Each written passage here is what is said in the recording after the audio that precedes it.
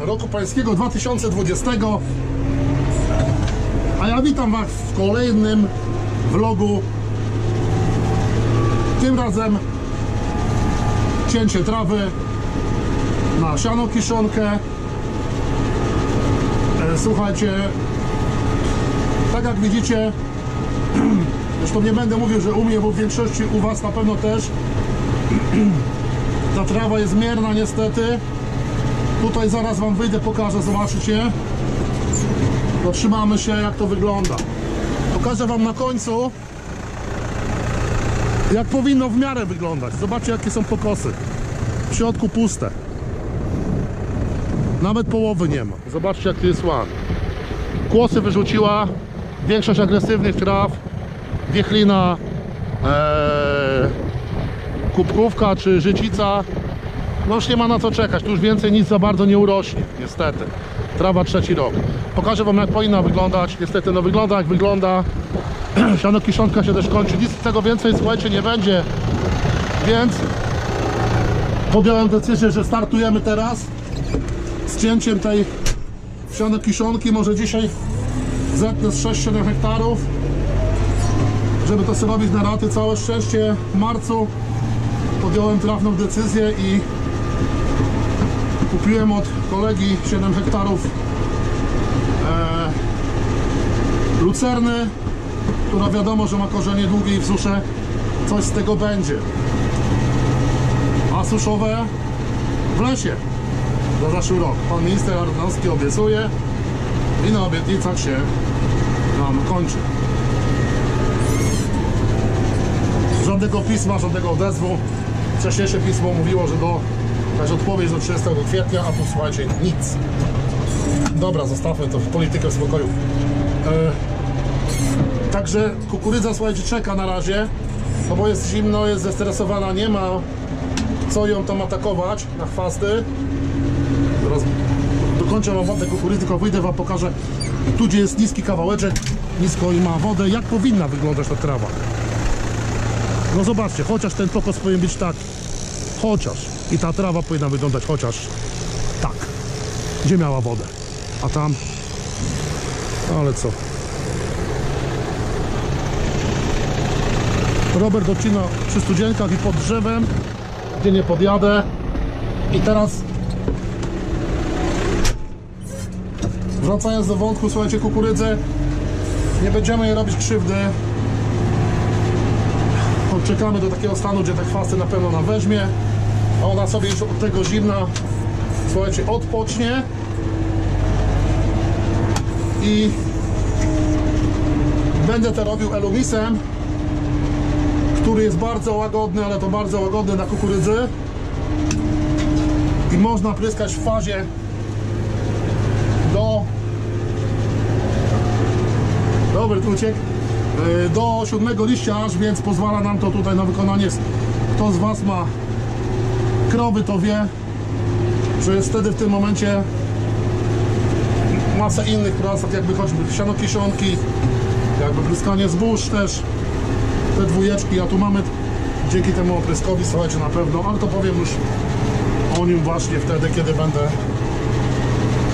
pryskał kukurydzę, pokażę Wam poletka, jak wyglądają, wtedy może Tomek przyjedzie. E, co ładnie docinamy do kantu, mamy czas chwilowo.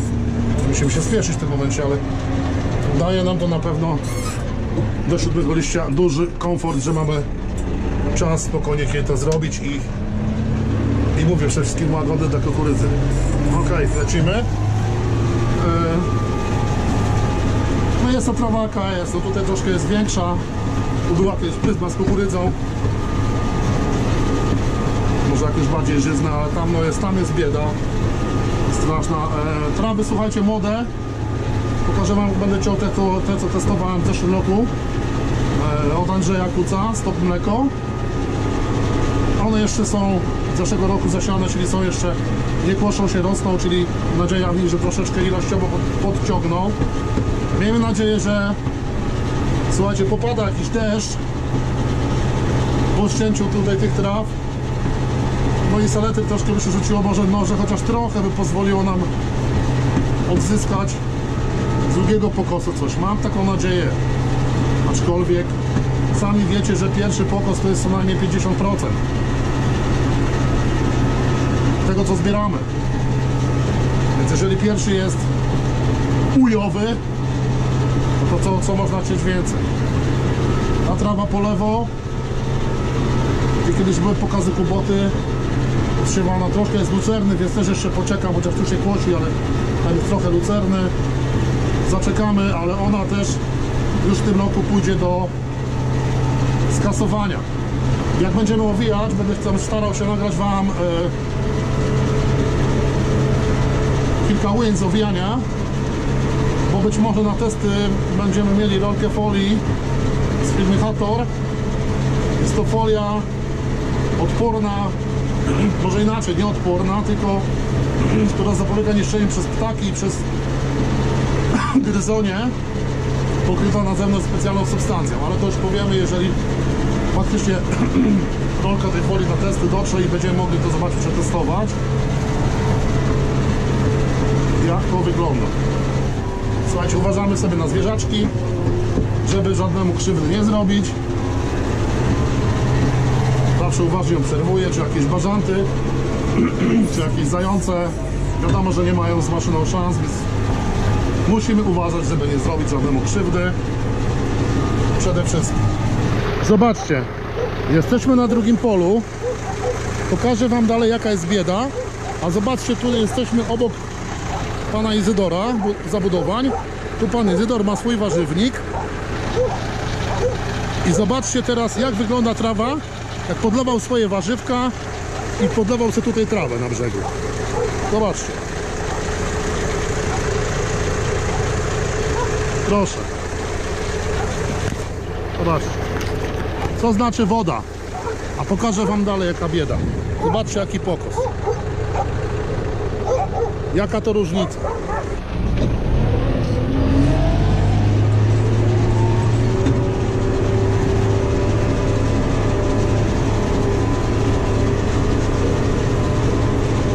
Gdzie się no to podlewał.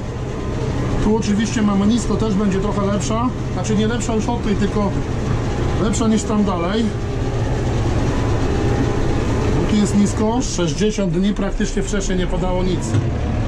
I te deszcze w majówkę trochę i te późniejsze co dało 33 litry. Bo spadł taki deszcz.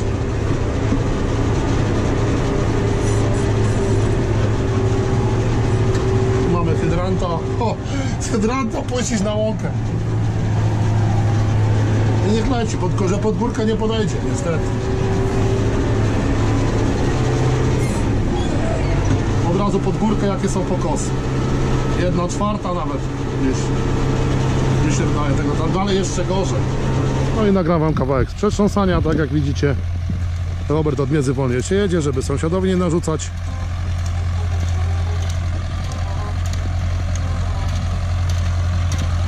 Idę do innej roboty, niech on sobie tutaj radzi.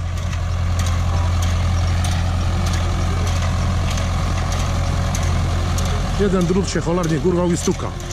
Ale jeszcze będzie kupić już gdzieś na szybko napotkam do kuna. Naprzód go! 60 na pełnej.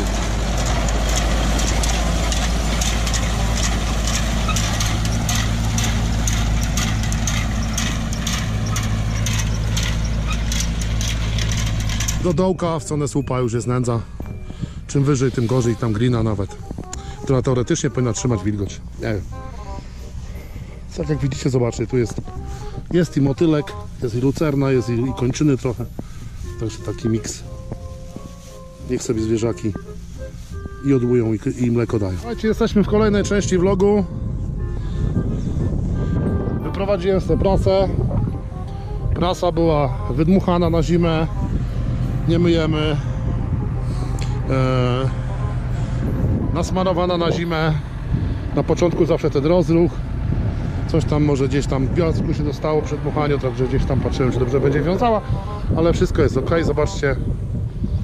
O, belka fajna, ładnie zbita. Miałem prasować troszeczkę. Troszeczkę, słuchajcie, mm, mniej pola dzisiaj, ale chyba chyba jest wystarczająco zawędnięte. Będziemy robić sobie chyba troszkę więcej. pokażemy wam pan Izydor tutaj jak z gabiareczką po remoncie sobie tutaj zapierdziela. 60 teczka z szybami jest problem właśnie, bo chciałem zamówić i indziej mogę dostać. Będę musiał się w wolnej chwili gdzieś bardziej tym zagłębić jak popryskam kukurydzę. W przyszłym tygodniu jak porobię się na kiszonki, lucerny na pewno się tym zajmę. Tak to póki co zobaczcie 60 teczka sobie cyka koło zapasowe jest. Napęd w zabiarce jest. Ładne słoneczko, dzisiaj wiaterek wieje. Nie było w ogóle słońca, mrzawki jakieś leciały i tak dalej, więc to już chyba po niedzieli zostanie nam ten kawał. Bo nadają, z tego względu, że nadają deszcz sobota, niedziela, poniedziałek. Więc będziemy musieli przeczekać.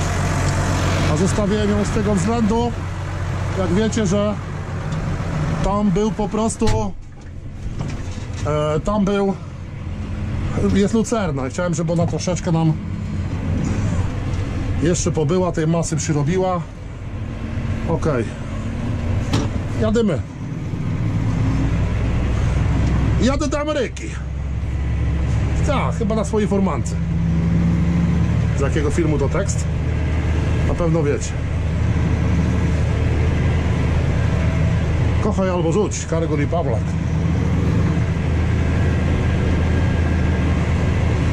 No zobaczymy ile tu będzie belek. Nie będę przecież cały czas do was gadał i tak długo nagrywał, po prostu kawałek sobie pojedziemy.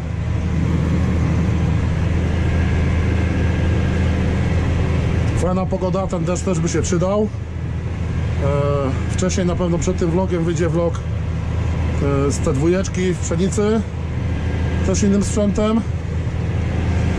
Więc tak po troszeczku Wam pokazuję, co tu się dzieje, co, czym. Siatka, e, jak w zeszłym roku, top mleko. E, wiem, że ktoś tam gdzieś tam miał problemy, może zależy od pracy, ja na tą siatkę nie narzekam. U mnie lepiej się sprawdza niż Tama, niż powiedzmy jakaś Astra, niż, niż Helasnet. I cenowo jest fajnie. W stogu też widzę, że mniej bel opękanych. E, Będziemy też sobie przy kiszące przy kolejnych polach. Słuchajcie, spróbujemy dać zakiszacz. Zakiszacz do lucerny, przetestować sobie. E, Jak to będzie wyglądało, jak zrobimy ilość bel, zaz- zaznaczymy je e, z...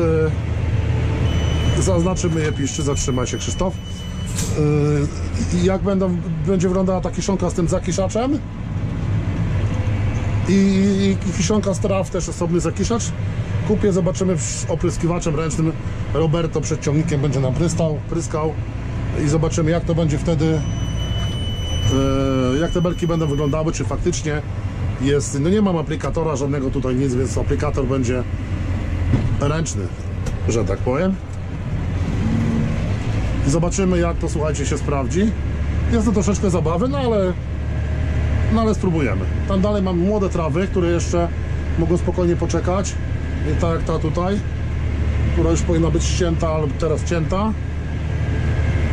Także na pewno w, kolejnej, e, w kolejności będę jechał tą trawę. E, Jeszcze dwa inne kawałki. Później już chyba będzie albo ta młoda trawa, albo lucerna. Wczoraj byłem, bardzo ładnie wygląda. E, Już puszcza, jak będzie puszczała pierwsze kwiatki, będziemy ją ciąć od razu. Musimy też patrzeć na pogodę. Także takimi etapami po prostu, tak? Gdybym miał e, prasę owijarkę, to też pewnie bym może ściął wszystko i robił wszystko naraz. No ale nie można mieć wszystkiego, to raz. Druga sprawa, słuchajcie, mm, jest tego rodzaju, że te trawy w tym roku z- racji tej suszy są nierówne, tak? Tak, kosiłem, wam pokazywałem ta też. Tamta młoda jeszcze nie ma żadnych, i- jeszcze jest za wcześnie. Na lucernę za wcześnie. Gdyby to w pryzmę szło, może by to mieszał, to by to bardziej wypośrodkował, tak? Osłonkę ze podniosłem, bo widzę siatkę jak tam idzie pierwsze po po, po, po, po przestoju zimowym. A jest to siatka, która o któregoś z rolników nie chciała iść, coś się działo, ponieważ nie wiem, czy w mokrym gdzieś ta Ta, tu, ta tuba, co w środku jest, słuchajcie, ta papierowa, tekturowa, była z jednej strony zmiażdżona lekko. No i e, Andrzej przywiózł mi kucją, tutaj mówi, słuchaj, próbuj, u tamtego rolnika nie idzie, nie wiem, no u mnie idzie normalnie, nie wiem, czy moja prasa po prostu jest bardziej tolerancyjna, no ale idzie, jest okej. no. Dobra, słuchajcie, wyrzucamy sobie kolejną belę. Słuchajcie, mamy całe pole sprasowane. Równo 20 bel z 2 hektarów. Czyli mamy połowę tego, co było w zeszłym roku. No, nie pamiętam dokładnie, też było 38 chyba, a jest 20. Czyli no tak mniej więcej to, ten obraz wygląda, słuchajcie, ilościowo. No okej, zobaczymy na drugim polu. Słuchajcie mordy, jesteśmy już teraz na miejscu. Ostatni etap naszej kiszonki. Pan Izor zakłada folię. Właśnie tą folię nową, dziwny kolor, zobaczcie, która jest odporna na ptaki i na, i na gryzonie. Ale może o tym bliżej powie coś Michał i Paweł. E, Simulator.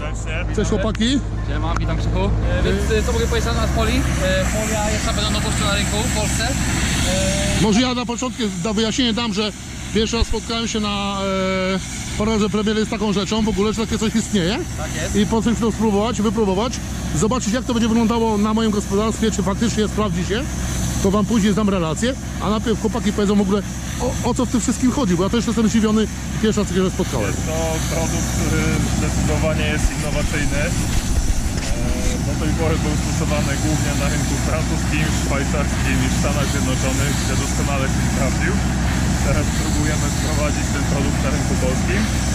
Jego główną zaletą jest to produkt innowacyjny jedyny, bo żaden inny produkt nie spełnia takich e, właściwości jak ten. To jest ochrona przeciwko ptakom i przeciwko gryzoniom. Czyli jeżeli gdzieś coś składuje na Podlasiu sobie belki na polu, Dokładnie nie tak. ma kontroli nad tym wszystkim, Dokładnie ma tak. pewność, że ptaki nie podziobią i Tak jest. To jest to rozwiązanie dla niego jak najbardziej. I nie pogryzą. Gdyby to było na koty, to by było zupełnie rozwiązanie stuprocentowe. No ale może Michał, powiedz też parę, kilka słów powiesz o tym? E, Tak jest. Znaczy, co mogę powiedzieć? Jak działa ta folia? Bo też jest takie pytanie. No właśnie, ja też jestem ciekawy. Tak jest. Otóż e, klucz e, polega na tym, że w folii zawarty jest składnik, który działa na zmysł węchu oraz znaczy na zmysł węchu u, u, ptaków i gryzoni i powoduje taki, taki dyskomfort, że gdy ptak podlatuje lub gryzoń gdy podbiega, czuje ten dyskomfort, jest to dla niego odpychające i on chce, nie, po prostu ma zakodowane w głowie, że nie podchodzi do tego, dlatego że jest to coś dla niego, co jest niekorzystne, nieprzyjemne. E, Co ważne, to jest, chciałem podkreślić, nie zabija to w żaden sposób ich. To jest, e, tutaj są w 100% naturalne składniki i tak jak mówię, e, nie wpływa to na to, żeby, żeby Czyli po prostu ta, ta, ta substancja jest po zewnątrz? ta, nie nie, ona jest w, we, w środkowej warstwie, tak naprawdę. Nie, ona nie jest na zewnętrznej warstwie, A. tylko właśnie w środkowej. środkowej, czyli po prostu y, krowa nie ucierpi na Tak, tym? nie, krowa nie ucierpi na tym jak najbardziej, to nie, e, jakby składnik absolutnie nie dostaje się do, do ścianek kiszonki, którą owijacie, tak? No to jest właśnie mordy, słuchajcie, nowość. Ja też pierwszy raz to słyszałem w ogóle, będąc na targach na e, premiery w Poznaniu. E, już na sam koniec, jak wychodziliśmy, spotkaliśmy się właśnie z chłopakami i taki produkt właśnie zobaczyłem, takie coś istnieje. My musimy to spróbować, musimy przetestować, zobaczyć na swojej skórze. Jeżeli to się sprawdzi, no to możecie śmiało wtedy używać. Zwłaszcza u was tam na Podlasiu, gdzie tam e, z, e, robią, robią i owijają, owijają, robią, owijają. no, o- Nie, oni tak mają, tak, mówią tak, wiesz, robią, owijają. Y, I wtedy będzie jesteśmy pe- się pewni, że na przykład te dwa czynniki macie wykluczone, nie? No kotów niestety chyba nie wykluczymy. No, z kotami Na to, to się okaże. Na chwilę obecną. Kto wie, kto wie. Zobaczymy jak Może koty też nie będą lubiły, bo koty robią zabawę, nie? Generalnie, Produkt jest nieszkodliwy, tak jak Michał wspomniał, dla zwierząt, tak? Jest całkowicie bezpieczny, ale przede wszystkim trzeba wspomnieć o tym, że jest całkowicie bezpieczny dla nas, tak? Czyli dla użytkowników, którzy mają styczność z tą folią, tak więc każdy człowiek, który znajduje się blisko tej folii albo ją dotyka, cokolwiek robi, może być w 100% pewny, że jest bezpieczny, że nic mu nie grozi, tak? Są to naturalne składniki odstraszające zwierzęta, nie szkodzące im w żaden sposób, po prostu zwykła sucha rzecz jak na komara.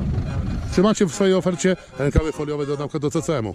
E, tak, jak najbardziej mamy również w swojej ofercie rękawy foliowe e, i, i te rękawy foliowe również posiadają ten składnik w sobie, który odstrasza takiej gryzoni. Również jest e, zawarty w tych, e, w tych rękawach, tak więc e, jak najbardziej dla, jest to jakby inny produkt, ale jak najbardziej również mamy go w ofercie. Pod spodem na pewno damy link pod filmem naszym e, z kontaktem do chłopaków. Jeżeli ktoś jakieś miałby zapytania, na pewno może śmiało pytać, dzwonić i chłopaki udzielą wszystkich porad i wiadomości na ten temat e, z tym związane, bo uważam, że jest taka innowacja, która jest warta uwagi i, i warta e, poświęcenia naprawdę, bo sam się zainteresowałem tym na targach e, w Poznaniu i to jest, em, wiecie sami, że wszystko co nowe to jest fajne. Dobra, słuchajcie. Kamera na głowę, jadę, kładę, ładuję, chłopaki robią zdjęcia lecimy z tematem. Pierwsza belka Anno Domini 2020. Słuchajcie, zostaje postawiona. Cyk stoi. Dziwny kolor, inny kolor. Oby się sprawdziło.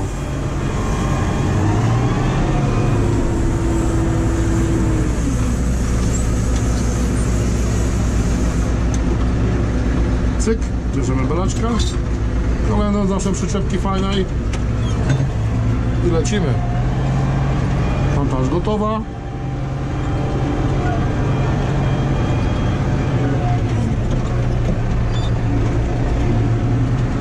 Wstawimy kolejną.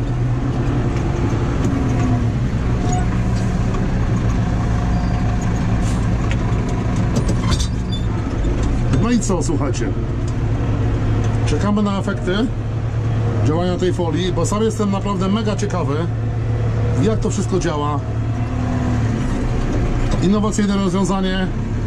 Pewnie niewielu z Was wiedział, że ktoś istnieje. Oczywiście to wiedział, szacun. E, Ja zapoznałem się z tym na targach Polega Premiery. Na pewno pokażę Wam później, jak to działało, jak to się sprawdzało. Wygląda fajnie. Także mordy, trzymajcie się. Do zobaczenia w kolejnym vlogu, a ja dzisiaj mam owijanie do godzin wieczornych. Cześć!